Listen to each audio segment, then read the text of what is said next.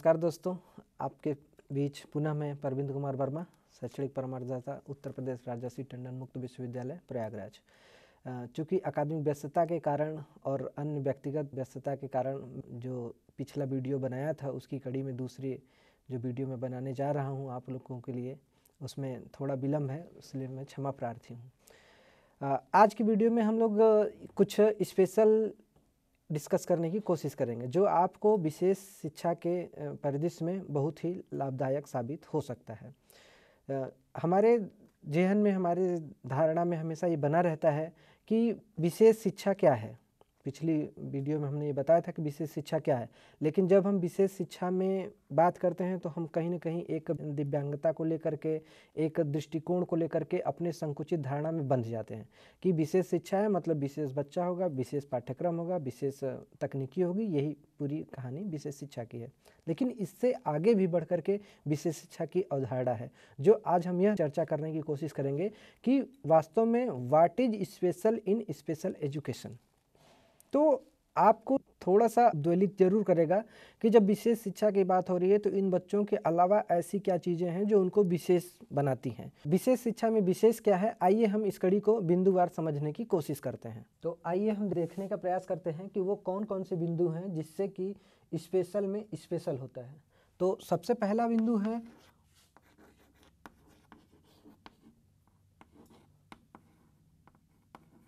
Regular class teacher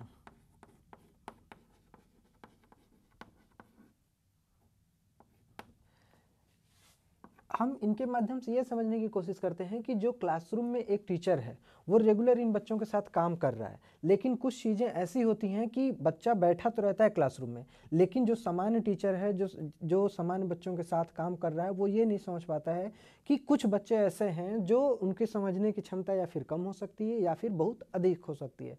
तो कम होती है तो वो बात वो समझ लेते हैं कि हाँ कम है तो उसको कुछ विशेष तरीके से, चाहे विशेष तकनीकी से, इनको हम सक्षम बना सकते हैं। लेकिन जब अधिक होता है तो उनके सारी प्रक्रियाओं में बदलने की ज़रूरत होती है। उन ज़रूरतों को ध्यान में रखने के लिए, उन ज़रूरतों को जब हम पूरा करते हैं तो वो विशेष शिक्षा की पहली कड़ी हो जाती है। दूसरा रूप हम देखते हैं, स्पेशल एजुकेटर की।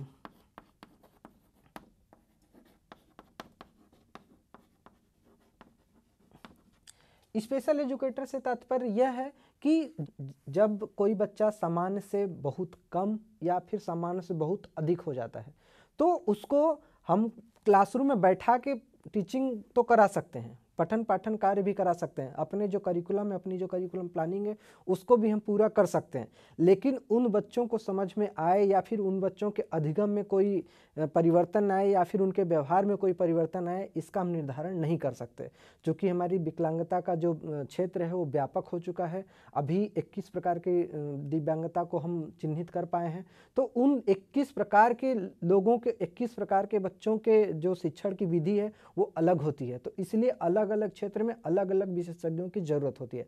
उन्हीं विशेषज्ञों के आधार पर, उन्हीं विशेषज्ञों के साथ हम अपने पठन पाठन के कार्य को सुचारू रूप से करने का प्रयास करते हैं, ताकि इन बच्चों को समझने में, इन बच्चों को अपने अधिगम में, चाहे इन बच्चों के जो पाठ्यक्रम है, उसको वो आसानी से समझ पाए। थोड़ी दिक्कतें आती हैं कि वो सामान्य की तरह सारी चीज़ें तो नहीं कर सकता है, लेकिन सामान्य के समीप ज़रूर जाके बैठ सकता है। इसलिए हमारा जो स्पेशल एजुकेशन है स्पेशल में स्पेशल होता है। तीसरा हम देखते हैं, हमारा तीसरा है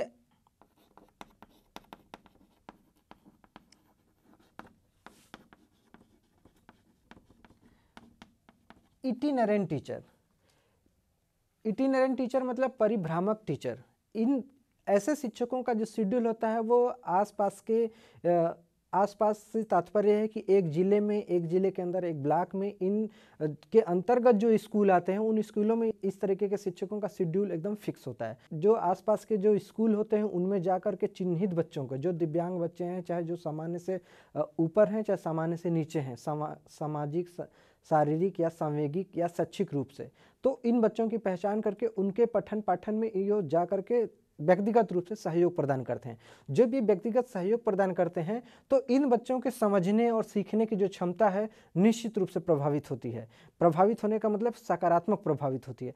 सकारात्मकता से तात्पर्य यह है कि यही, ये परिभ्रामक जो शिक्षक हैं, वो समान स्कूलों में जा करके इन बच्चों के साथ बैठकर काम करते हैं और जो शिक्षक इनके साथ अध्ययन, अध्यापन का कार्य करता है, उन शिक्षकों के साथ भी बैठ करके उनकी प्लानिंग में मदद करते हैं, ताकि सामान्य क्लासरूम में भी इन बच्चों के साथ जो लोग शिक्षा ग्रहण कर रहे हैं, उनको कोई सी प्रकार की कोई समस्या का सामना करना न पड़े। इसलिए ये हमेशा उनके साथ जुड़ करके और साथ ही साथ इन बच्चों के साथ भी जुड़ करके इनके पठन पाठन को उन्नत बनाने का प्रयास करते हैं। अगली कड़ी में हम देखते हैं कि और ऐसी क्या चीज़ें हैं जो स्पेशल में स्पेशल करते हैं। तो अगला है हमारा रिसोर्स पर्सन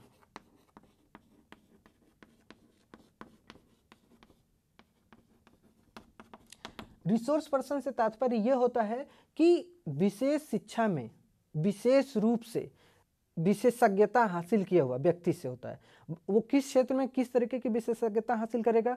तो जो दिव्यांग बच्चे हैं, चाहे वो एच आई हो वी आई हो एम आर हो एल डी हो, मल्टीपल डिसेबिलिटी हो, आर्टिज्म हो, किसी भी प्रकार की विकलांगता हो, उस विकलांगता के अंतर्गत इन बच्चों को शिक्षित करने का जो एक स्ट्रेटजी होता है, इन बच्चों को किस तरीके के टीचिंग लर्निंग मटेरियल के माध्यम से शिक्षित किया जा सकता है या फिर इन बच्चों के लिए कौन सी शिक्षा, शिक्षण अधिगम सहायक सामग्री ज़्यादा उपयोगी साबित हो सकती है। इस पर ये बहुत अच्छे तरीके से एक सामान्य शिक्षा की मदद करते हैं और इन बच्चों के साथ जुड़ करके, उनके मनोसामाजिक स्थिति के साथ जुड़ करके, उनकी शारीरिक अक्षमता को पहचान करके अनेक प्रकार के उपकरण, अनेक प्रकार के टूल्स का वो निर्माण करते हैं ताकि इनके जो शैक्षणिक प्रक्रिया है, उसमें और सुगमता लाई जा सके और दिव्यांग बच्चे हैं, वो आसानी से सामान्य बच्चों के साथ समान वातावरण में ही आसानी से सीखने में स्वयं को सक्षम बना पाएँ। अगली जो कड़ी है, हम देखते हैं डायग्नोस्टिक प्रेस्क्रिप्टिव सेंटर इससे तात्पर्य है कि जो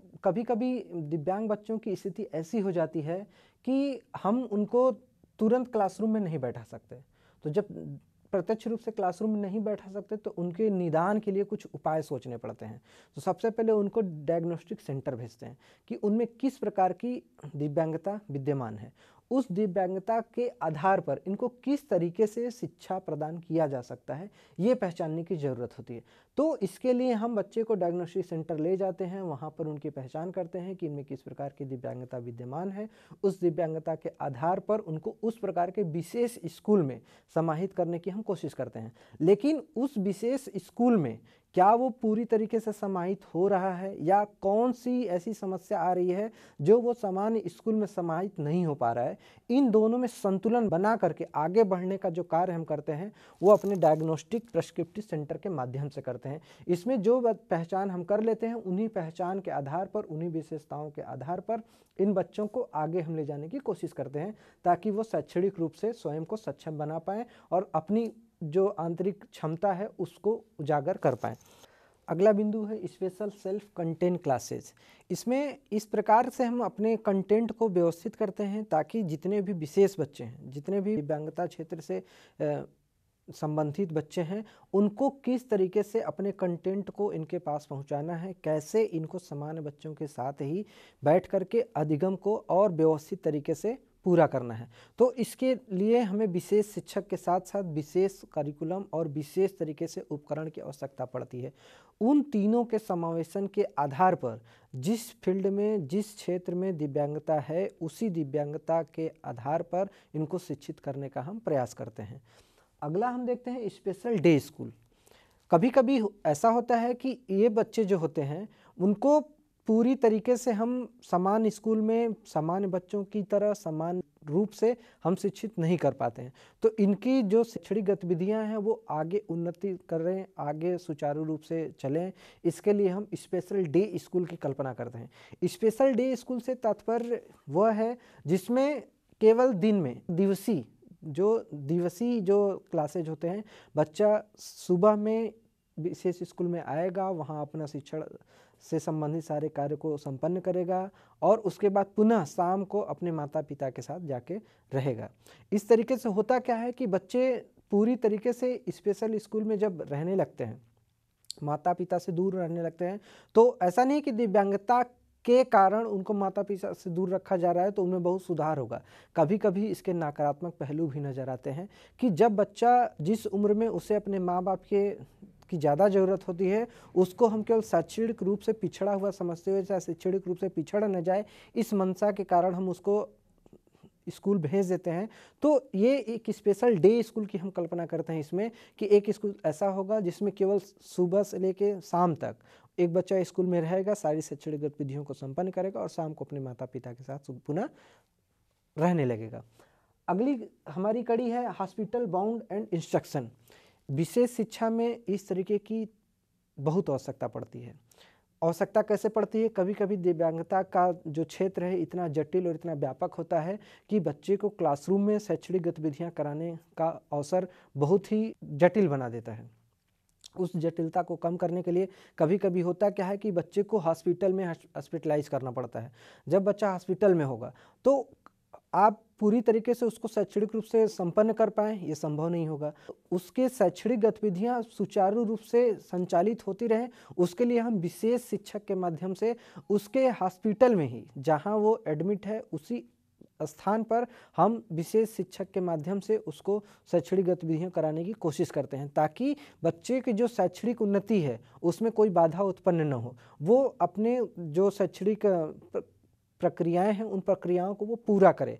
तो उसके लिए हमें विशेष रूप से जो शिक्षक तैयार करने पड़ते हैं, चाहे जो विशेष शिक्षक होते हैं, वो हॉस्पिटल में जा कर के वहाँ अपनी पूरी साजो सामान से उन व्यवस्थाओं को वहीं पर संपन्न कराते हैं, ताकि बच्चे के हॉस्पिटलिटी का भी कार्य सुचारू रूप से चले और बच्चे की शैक्षणिक गतिविधियाँ भी प्रभावित न हो, जिससे कि आगे जा के उसको शैक्षणिक रूप से पिछड़ापन, चाहे शैक्षणिक रूप से कमज़ोर महसूस कराए।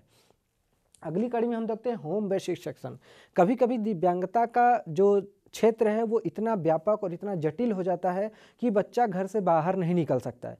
तो जब घर से बाहर नहीं निकलेगा तो आप सोच सकते हैं कि जब हम घर से बाहर ही नहीं निकल रहे हैं तो हम शिक्षा की कल्पना कैसे करेंगे? इसी धारणा को तोड़ने के लिए विशेष शिक्षा के माध्यम से, विशेष रूप से तैयार किए गए शिक्षकों के माध्यम से उन्हीं बच्चों के घर जाकर उनको शैक्षणिक रूप से उन्नत बनाने की हम कोशिश करते हैं। लेकिन उसमें बहुत सारी समस्याएँ होती हैं। उन समस्याओं को भी समझते हुए, उन समस्याओं के निदान करते हुए, उन समस्याओं को पर अपनी समझ बनाते हुए विशेष शिक्षक उन बच्चों को शिक्षित करने का प्रयास करता है। लेकिन इसमें एक जो सबसे महत्वपूर्ण भूमिका होती है, वो उन बच्चों के माँ बाप की होती है। वो माँ बाप इन शिक्षकों के हमेशा संपर्क में बने रहते हैं और लगातार निरंतर रूप से इनसे वार्तालाप करते रहते हैं कि इन बच्चों के शैक्षणिक गतिविधियों में और किस तरीके के हम सहयोग प्रदान कर सकते हैं, चाहे और इनको किस तरीके से शिक्षित हम कर सकते हैं। इसमें माता पिता बच्चा और शिक्षक तीनों एक त्रिभुजाकार कड़ी के रूप में बंध जाते हैं। कोई भी एक कड़ी थोड़ा सा भी निष्क्रियता के रूप में प्रदर्शित करता है तो दो कड़ी अपने आप प्रभावित हो जाती है। इसलिए हमें इस बात को भी समझना होगा कि जब हम एक शिक्षा के त्रिभुजाकार आकृति की हम बात कर रहे हैं तो एक कड़ी पर शिक्षक है, एक कड़ी पर स्टूडेंट है और तीसरी कड़ी पर उसके माता पिता हैं। तो तीनों को एक ही रूप में हमें समझना पड़ेगा कि कैसे इस बच्चे को शैक्षणिक रूप से, सामाजिक रूप से, अपने वातावरण में, सामान्य बच्चों के साथ सबको समाहित करते हुए उसके जो आंतरिक क्षमता है, उसको कैसे विकसित किया जाए या फिर उसके अंतर जो आंतरिक क्षमता है, उसका कैसे उपयोग किया जाए। इसके लिए जो होम बेस्ड इंस्ट्रक्शन है, वो खासकर ज़्यादा महत्वपूर्ण साबित होता है और इन बच्चों के लिए महत्वपूर्ण और लाभदायक साबित होता है। इसी कड़ी में अगला जो हमारा है रेजिडेंशियल स्कूल कभी कभी ये होता है कि बच्चे की दिव्यांगता के कारण उसके समाज में, उसके घर में, उसके परिवार में लोग उसको अस्वीकृत कर देते हैं। लेकिन अस्वीकृत कर देने से क्या उस बच्चे के विकास के पहलू, शैक्षणिक पहलू, सामाजिक पहलू, वातावरण पहलू, भौगोलिक स्थिति बदल जाएगी? कभी नहीं बदलती है। इस चीज़ को हमें समझने के लिए हमने ये कल्पना की कि क्यों न एक ऐसा स्कूल खोल दिया जाए, क्यों न एक ऐसे स्कूल का निर्माण किया जाए, क्यों न एक ऐसे संस्था का निर्माण किया जाए, जिसमें इन बच्चों को पूरी तरीके से रख करके इनकी संपूर्ण विकास के, उनके सर्वांगीण विकास की कल्पना को हम क्यों उजागर करें। इसके लिए हमारा रेजिडेंशियल स्कूल काम करता है। इस रेजिडेंशियल स्कूल से तात्पर्य यह है कि एक ऐसी संस्था, एक ऐसा जगह जहाँ पर बच्चा पूरे दिन, पूरे रात रह करके अपनी शैक्षणिक गतिविधियों को पूरा करता है। इसमें विशेष प्रकार के दिव्यांगता के क्षेत्र के अलग अलग स्कूलों का निर्माण किया गया है। जैसे हम कह सकते हैं कि कोई बच्चा दृष्टिबाधित है तो उसको दृष्टिबाधिता के क्षेत्र में जो स्कूल कार्यरत है, चाहे दृष्टिबाधिता के क्षेत्र में जो स्कूल कार्य कर रहा है, उस स्कूल में उस बच्चे की दाखिला होगी, जो श्रवण बाधित है उन बच्चों का दाखिला जो श्रवण बाधित स्कूल है, उस स्कूल में दाखिला कराया जाएगा और जो मानसिक मंदता है, चाहे जो बौद्धिक अक्षमता के क्षेत्र के जो बच्चे हैं, उनको उस प्रकार के स्कूल में दाखिला कराया जाएगा। लेकिन मात्र दाखिला करा देने से इनकी शैक्षणिक प्रक्रिया पूरी हो जाएगी, ये थोड़ा कठिन लगता है। कठिन इसलिए लगता है कि हमें इस रूप को समझना पड़ेगा कि मात्र केवल शैक्षणिक संस्था में दाखिला करा देने से बच्चे की शैक्षणिक प्रक्रिया में सकारात्मक सुधार हो ये थोड़ा सा असंभव लगता है। असंभव इसलिए कि जब हम इन बच्चों के साथ जुड़ते हैं, चाहे इन बच्चों के साथ जब हम काम करने की कोशिश करते हैं तो विशेष तरीके की एक क्षमता की ज़रूरत पड़ती है। वो क्षमताएँ आपको विशेष रूप से उजागर करनी पड़ती है या फिर उस विशेष तरीके से निर्माण करनी पड़ती है। इन दोनों की कड़ी में हमें ये समझना पड़ता है कि हम कैसे इन बच्चों को शैक्षणिक रूप से मज़बूत बनाएँ। और शैक्षणिक रूप से जब ये बच्चे मज़बूत बनेंगे तो सामाजिक रूप में कुछ अपनी प्रतिष्ठा, अपनी पहचान बनाने में सक्षम होंगे।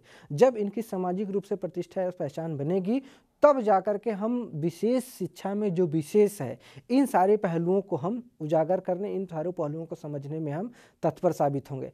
तब इन सारे बिंदुओं के माध्यम से हम आपको संक्षेप रूप में यही बताना चाह रहे हैं कि जिस बच्चे की, जो दिव्यांगता की श्रेणी है, दिव्यांगता की मात्रा है, दिव्यांगता की पहचान है, उन दिव्यांगता के आधार पर इन सारे बिंदुओं में से जिस बिंदु में बच्चे को ज़्यादा सहजता, ज़्यादा सुगमता और ज़्यादा अपने आप को मित्रवत वातावरण विकसित कर पाए, चाहे मित्रवत वातावरण का एहसास करे, उस वाता इसमें से किसी एक को अपना करके हम विशेष शिक्षा के माध्यम से इन बच्चों को शैक्षणिक रूप से उन्नत हम बना सकते हैं। इन सारे बिंदुओं को ध्यान में रखते हुए हमें यह समझ में आता है कि आज का जो दौर है, वो कैसा चल रहा है। तो हम जब करेंट ट्रेंड की बात करते हैं तो इसमें हम ये समझने का प्रयास करते हैं कि बहुत सारे शिक्षाविद, बहुत सारे नीतियाँ हम इस तरीके से निर्माण की जा रही हैं, ताकि बच्चे में कोई भी तरीके का पृथकता का भाव उत्पन्न न हो। वो अपने आप को अलग महसूस ना करे। इस पर बहुत सारे शोध हुए हैं। हमारी जो विशेष शिक्षा की कल्पना की गई, इसी आधार पर की गई थी कि जो दिव्यांग बच्चे हैं, उनको विशेष स्कूल में विशेष तरीके से, विशेष शिक्षक के माध्यम से ही शिक्षित करने का हम प्रयास करें। लेकिन इसके परिणाम भी नकारात्मक साबित हुए। एक शोध के माध्यम से रॉबिन्सन एंड रॉबिन्सन ने यह बताने का प्रयास किया है कि जिन बच्चों को, जिन बच्चों से तात्पर्य जो स्पेशल बच्चे हैं, जो दिव्यांग बच्चे हैं, उनको सामान्य बच्चों से अलग करके हम शिक्षित करते हैं तो वो शैक्षणिक रूप से तो उन्नत होते हैं। इसमें कोई इसी तरह का कोई दोहराव या मतभेद नहीं है, लेकिन वो सामाजिक रूप से उन्नति करें, ये थोड़ा शंका का विषय बनता है। शोध के माध्यम से ये पता चला है कि जब हम शैक्षणिक रूप से बच्चे को अलग करते हैं तो केवल शैक्षणिक रूप से अलग नहीं होता है, बल्कि अन्य पहलुओं से भी वो अलग हो जाता है, जो बाद में उसके लिए नकारात्मकता या फिर अवसाद के रूप को रास्ता देता है। इसमें हमें यह समझना पड़ेगा कि जब हम इन बच्चों को हम शिक्षित करने की कोशिश करते हैं तो सामान्य बच्चों के साथ समाहित करके ही करें। अगर सामान्य बच्चों के साथ समाहित करके हम शिक्षित करते हैं तो इनका जो सर्वांगीण विकास है, वो शायद सक्रियता से और सुचारू रूप से और उन्नत होता है।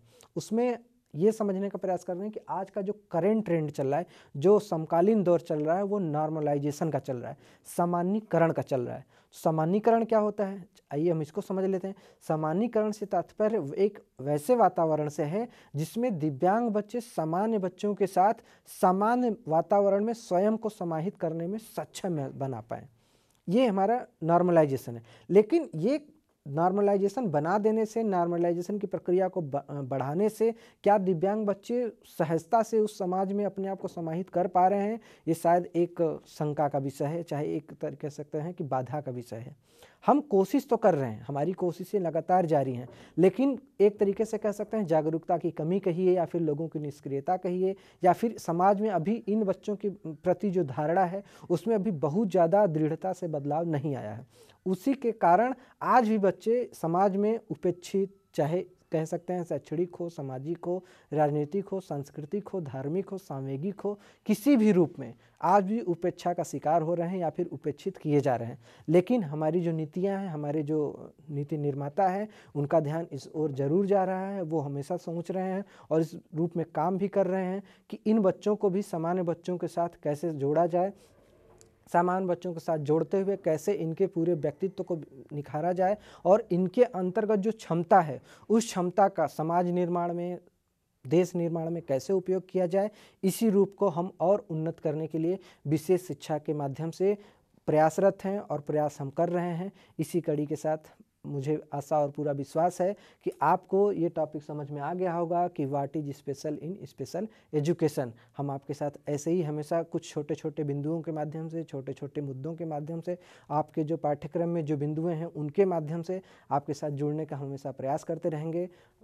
और इसी कड़ी के साथ मैं अपनी वाणी को विराम देता हूँ। बहुत बहुत धन्यवाद।